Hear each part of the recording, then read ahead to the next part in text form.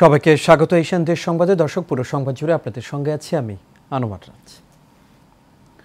এবার বিস্তারিত। দেশের তিনশো তেইশ পৌরসভার মেয়রকে অপসারণ করা হয়েছে। একই সঙ্গে ঢাকা, উত্তর, দক্ষিণ সহ বারো সিটি কর্পোরেশনের মেয়রকেও অপসারণ করা হয়েছে।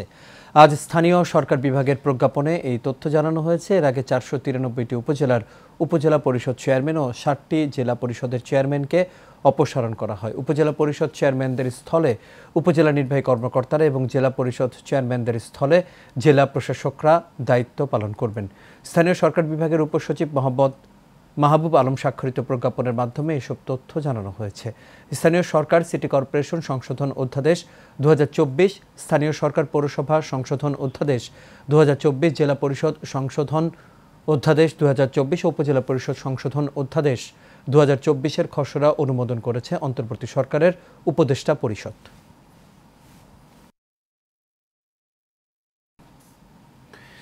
সাভারের সাবেক দুর্যোগ ব্যবস্থাপনা ত্রাণ প্রতিমন্ত্রী ডাক্তার এনামুর রহমান সহ তিনশো একুশ জনের নামে হত্যা মামলা করা হয়েছে।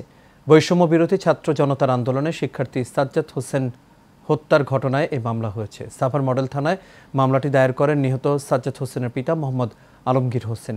এই মামলায় আরও আসামি করা হয়েছে সদ্য অপসারণকৃত সাভার পৌরসভার মেয়র আব্দুল গনি, উপজেলা পরিষদের চেয়ারম্যান মঞ্জুরুল আলম রাজীব, পৌর আওয়ামী লীগের সাধারণ সম্পাদক মানিক মোল্লা, তেঁতুলঝোড়া ইউনিয়ন চেয়ারম্যান ফখরুল আলম সমর সহ তিনশো একুশ জন। এছাড়াও অজ্ঞাতনামা আসামি করা হয়েছে আরও পাঁচশো জনকে।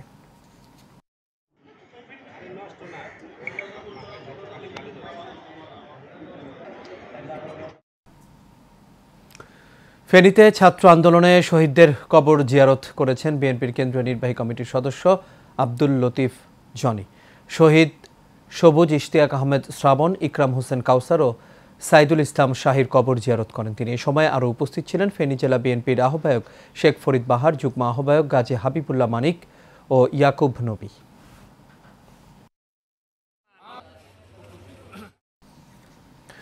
ছাত্র আন্দোলনে নিহত ইমনের জানাজা সম্পন্ন হয়েছে। রোববার রাতে টাঙ্গাইলের গোপালপুর উপজেলার নলিনের নৈমুদ্দিন উচ্চ বিদ্যালয় মাঠে জানাজা অনুষ্ঠিত হয়। এতে কেন্দ্রীয় বিএনপির প্রচার সম্পাদক ও সাবেক যুবদল সভাপতি সুলতান সালাউদ্দিন টুকু, জেলা প্রশাসক মোহাম্মদ কাইসারুল ইসলাম, পুলিশ সুপার গোলাম সবুর, অতিরিক্ত পুলিশ সুপার শরফুদ্দিন ভূঁইয়া সহ উপজেলার বিএনপির সভাপতি অ্যাডভোকেট গোলাম মোস্তফা, সাধারণ সম্পাদক সেলিমুজ্জামান তালুকদার সেলু সহ বৈষম্য বিরোধী ছাত্র আন্দোলনের জেলা উপজেলার সমন্বয়করা উপস্থিত ছিলেন। সাবেক স্বরাষ্ট্র প্রতিমন্ত্রী লুৎফুজ্জামান বাবরের নিঃশর্ত মুক্তির দাবিতে গাজীপুরের শ্রীপুরে মানববন্ধন ও বিক্ষোভ মিছিল অনুষ্ঠিত হয়েছে। শ্রীপুর পৌরসভার ঢাকা ময়মনসিংহ মহাসড়কের সিএনবি বাজার এলাকায় এই কর্মসূচি পালন করা হয়। এতে বক্তব্য রাখেন জেলা যুবদলের সদস্য সচিব আনোয়ার ব্যাপারী, ওয়ার্ড বিএনপির সিনিয়র যুগ্ম সম্পাদক জাকিরুল ইসলাম, পৌর বিএনপির তথ্য প্রযুক্তি বিষয়ক সম্পাদক ইঞ্জিনিয়ার আব্দুর রব শিমু, জেলা ছাত্রদলের সাবেক সহ সভাপতি ইয়াসিন আরাফাত ও পৌর কৃষক দলের সাধারণ সম্পাদক আমির হোসেন আকন্দ সহ আরও অনেকেই।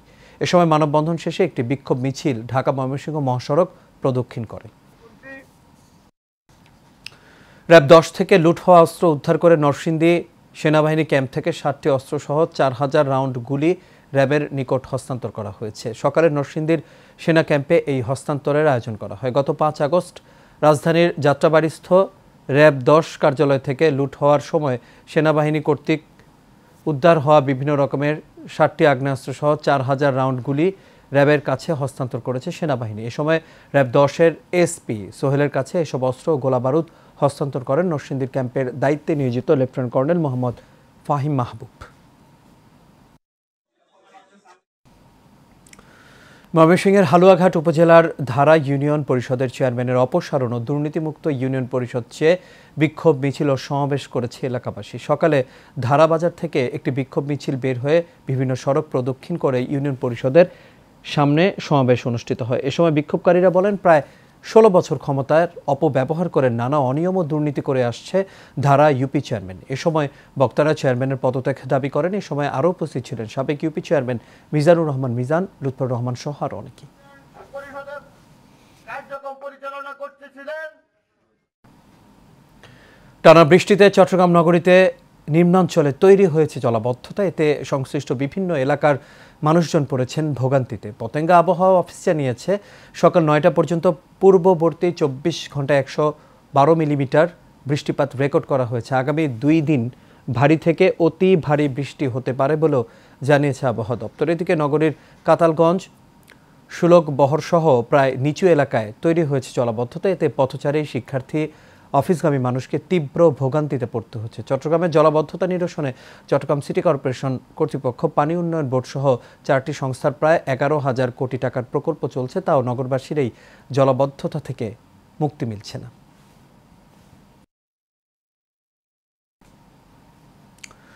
নোয়াখালীর নয়টি উপজেলার মধ্যে জেলা সদর, মাইজদি বাণিজ্যিক শহর, চৌমোহনী, বেগমগঞ্জ, সোনাইমুড়ি, চাটখিল সহ অধিকাংশ স্থানে ভারী বর্ষণে জলাবদ্ধতায় বন্যায় রূপ নিয়েছে। জনজীবনে প্রভাব পড়েছে, পানি বৃদ্ধি, হাজার হাজার পরিবার, লক্ষ লক্ষ মানুষ, স্কুল, কলেজ, মসজিদ, মাদ্রাসা সহ শিক্ষক শিক্ষার্থীরা পড়েছে বিপাকে।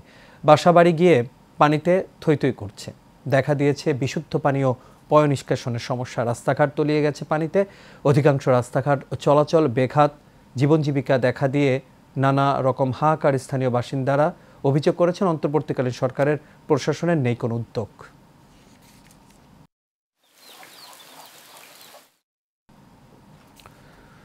চট্টগ্রাম নগরের Sholo Shahar Karnaphuli gas distribution company লিমিটেডের এমডি প্রকৌশলী আবু সাকলাইনের অপসারণ ও শাস্তির দাবিতে মানববন্ধন করেছে শত শত গ্রাহক।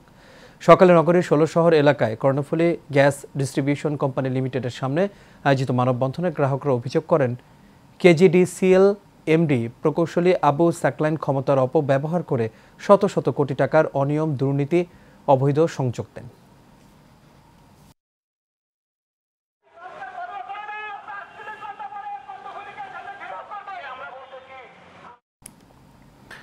বগুড়ার শিবগঞ্জ উপজেলার নাগরবন্দরে দীর্ঘ যানজট নিরসনের লক্ষ্যে উচ্ছেদ অভিযান পরিচালনা করেছে উপজেলা প্রশাসন। দীর্ঘদিনের ভোগান্তি কমাতে উচ্ছেদ অভিযান পরিচালনা করেন, করে বেশ কিছু অবৈধ স্থাপনা ভেঙে দেয়া হয়। উপজেলা বিএনপির সভাপতি মীর শাহে আলম উচ্ছেদ অভিযানকে স্বাগত জানান। পরে এক পথসভায় বক্তব্য রাখেন সাবেক কাউন্সিলর ইয়াকুব আলী, জেলা বিএনপি সহ অর্থ বিষয়ক সম্পাদক ফারুক আহমেদ, স্থানীয় ব্যবসায়ী রাব্বানি সহ আরও অনেকেই।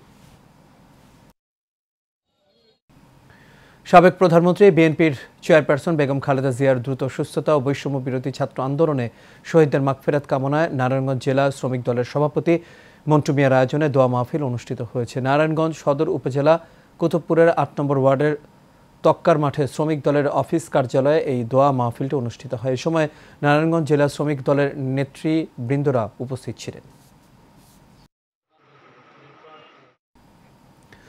নেত্রকোনা জেলার ঐতিহ্যবাহী বিদ্যাপীঠ দত্ত উচ্চ বিদ্যালয়ের প্রধান শিক্ষক A B M Shahjahan Kabir সাজুর অপসারণের দাবিতে বিক্ষোভ ও সড়ক অবরোধ করেছে শিক্ষার্থীরা। দুপুর থেকে বিদ্যালয়ের শিক্ষার্থীরা ক্লাস বর্জন করে প্রধান শিক্ষক A B M Shahjahan Kabir সাজুকে প্রধান শিক্ষকের পদ থেকে অপসারণের দাবিতে বিদ্যালয়ের সামনের সড়ক অবরোধ করে বিক্ষোভ কর্মসূচি পালন করে।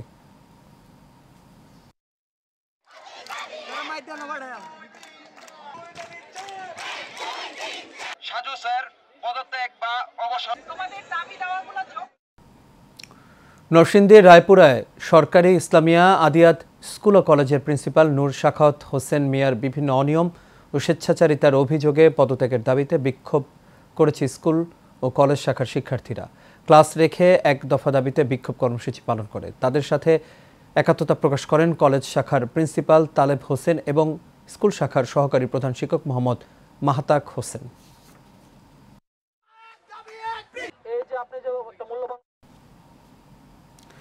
বগুড়ার শিবগঞ্জ উপজেলার পিরব ইউপির সৈয়দপুর গ্রামে আওয়ামী লীগ নেতা দেলোয়ার কর্তৃক থানায় মিথ্যা অভিযোগ প্রত্যাহারের দাবিতে গ্রামবাসীর সংবাদ সম্মেলন অনুষ্ঠিত হয়। গ্রামবাসীর অভিযোগ, সৈয়দপুর গ্রামের মুকুল মণ্ডল ও ভাই দেলোয়ার হোসেন গ্রামের নিরীহ মানুষের কাছ থেকে পুকুর লিজ নেয়ার নাম করে দশ লাখ টাকা হাতিয়ে নেয়। গ্রামবাসী সেই টাকা ফেরত চাইলে দেলোয়ার বাদী হয়ে বাড়ি ভাঙচুর লুটপাটের অভিযোগ দায়ের করেন শিবগঞ্জ থানায়। উক্ত অভিযোগ মিথ্যা ও বানোয়াট। অভিযোগ প্রত্যাহারের দাবি জানান গ্রামবাসী।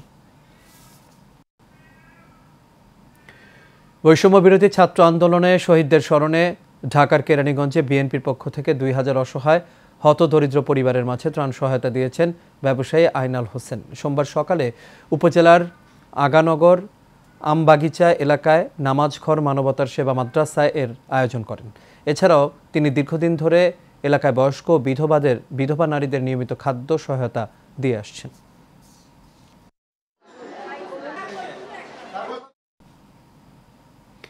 গাইবান্ধার গোবিন্দগঞ্জে জমি জমা নিয়ে সংঘর্ষের ঘটনাকে কোটা আন্দোলনের নামে অপপ্রচার করার প্রতিবাদে সংবাদ সম্মেলন অনুষ্ঠিত হয়েছে। দুপুরে উপজেলার কোচা শহর ইউনিয়নের নয়ারহাট বনগ্রামবাসীর আয়োজনে সংবাদ সম্মেলনে লিখিত বক্তব্য পাঠ করেন শফিকুল আলম। এই ঘটনায় থানায় একটি অভিযোগ দায়ের করা হয়েছে। উল্লেখ্য জমি জমা নিয়ে গত নয় আগস্ট নয়ারহাট গ্রামে সংঘর্ষে বিশ জন আহত হয়। কোনো কথাই হয়নি আর কি। বিশেষভাবে কেসাল সাভারে শিক্ষা প্রকৌশল অধিদপ্তরের দুর্নীতি ও অনিয়মের অভিযোগ তুলে মানববন্ধন ও বিক্ষোভ মিছিল করেছে এলাকাবাসী। দুপুরে উপজেলার হেমায়তপুর এলাকায় এই মানববন্ধন ও বিক্ষোভ মিছিল অনুষ্ঠিত হয়। এলাকাবাসীর অভিযোগ দু হাজার বাইশ সালে হেমায়তপুর এলাকায় শিক্ষা প্রকৌশল অধিদপ্তর দুই একর জমি অবৈধভাবে অধিগ্রহণ করে। পরে তারা সেখানে স্কুল করার জন্য ভবন নির্মাণ করার কাজ শুরু করেন। পরে জমির মালিক বিষয়টি বুঝতে পেরে আদালতে একটি মামলা দায়ের করেন। মামলায় পরে আদালত জমিতে নির্মাণ কাজ বন্ধ রাখার নির্দেশ প্রদান করেন। এ সময় আদালতের নির্দেশ অমান্য করে শিক্ষা প্রকৌশল অধিদপ্তর নির্মাণ কাজ চালিয়ে যায়। পরে দুর্নীতির অভিযোগ তুলে ও জমি রক্ষায় মানববন্ধন ও বিক্ষোভ মিছিল পালন করেন তারা। নরসিংদী মডেল থানায় ব্ল্যাকমেইল ও প্রতারণার অভিযোগে মুন্নি খান নামে এক মেয়েকে আটক করেছে পুলিশ। মেহেদি হাসান নামে এক ভুক্তভোগীর অভিযোগ ওই নারীর মোবাইল ফোন জব্দ করে পুলিশ। জব্দকৃত মোবাইল থেকে ভুক্তভোগী মেহেদি হাসান সহ আরও একাধিক ছেলেদের অন্তরঙ্গ মুহূর্তের গোপন ভিডিও ধারণ করার প্রমাণ পাওয়া যায়। আসামি মুন্নি খান হলেন রায়পুরা থানার চর আড়ালিয়া গ্রামের মোহাম্মদ দানিশ মিয়ার মেয়ে। নরসিংদী মডেল থানার officer in charge Tanvir Ahmed বিষয়টি নিশ্চিত করেন।